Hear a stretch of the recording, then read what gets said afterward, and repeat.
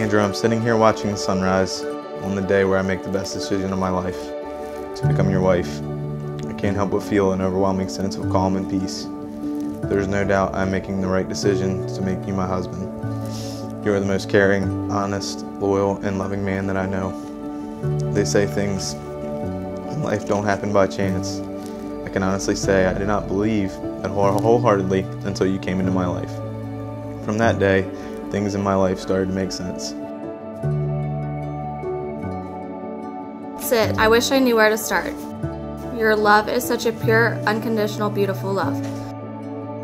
I can't even describe how you make me feel. Our paths certainly took their course, but God knew exactly what I needed and a wife and brought us together at the perfect time.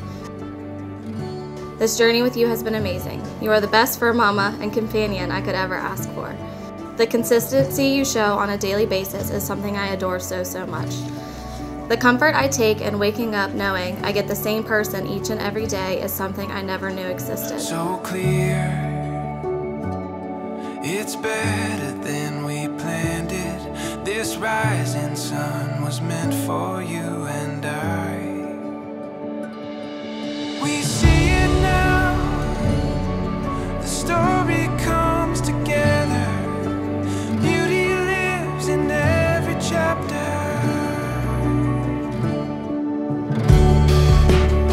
been a single day in the past 903 days where I haven't felt anything but love and respect from you.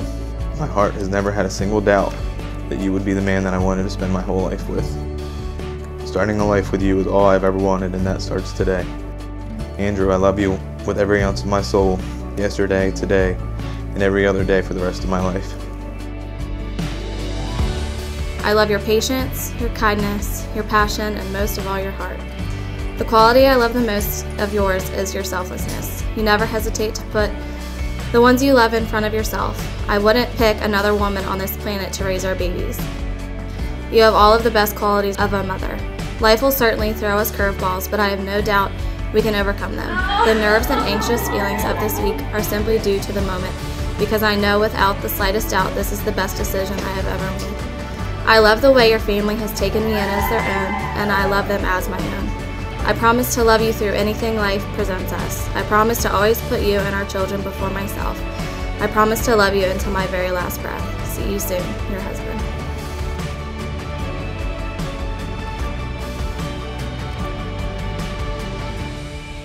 I will honor you, respect you, cherish you, and love you. Through the good times and the bad times in life, I will always choose you. I promise I will always put you first.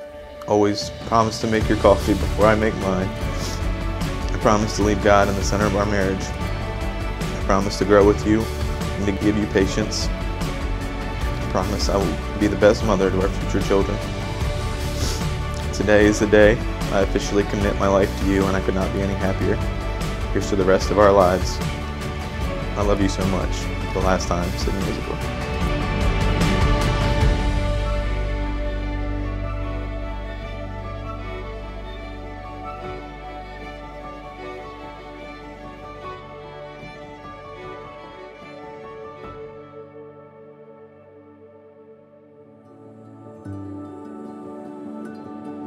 Right here, on this ground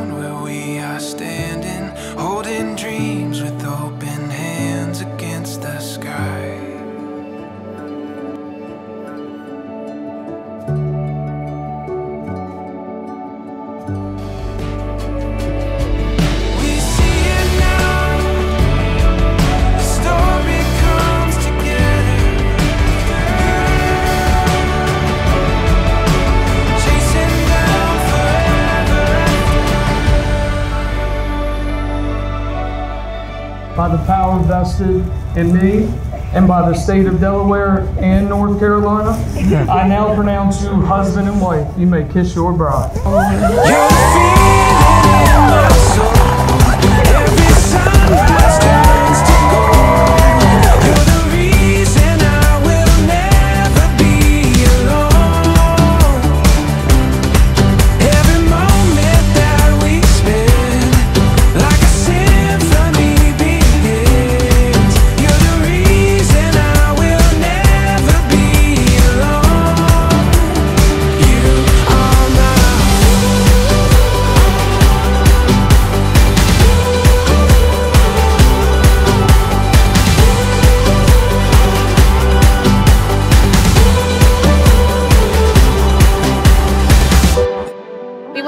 Everyone for traveling here this weekend to celebrate Sydney and Andrew and the undeniable love they share.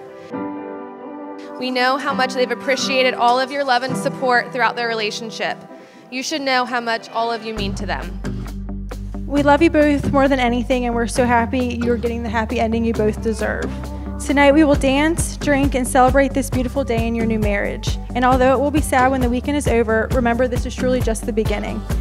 So, Sid and Andrew, keep dating one another, promise to learn new ways to serve one another, celebrate the little victories in life, be there for one another through all life's ups and downs, pray together, and pray for each other.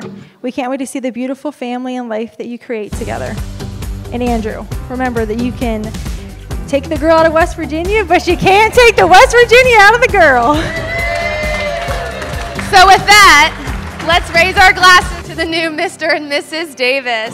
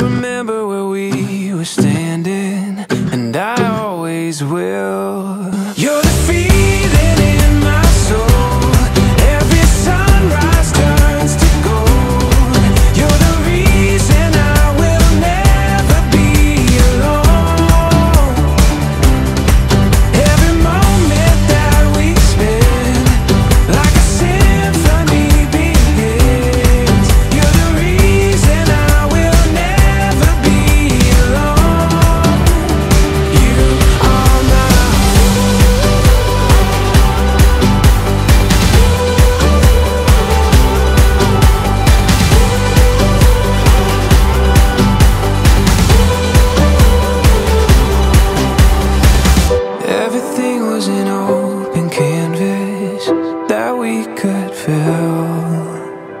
I still remember where we were staying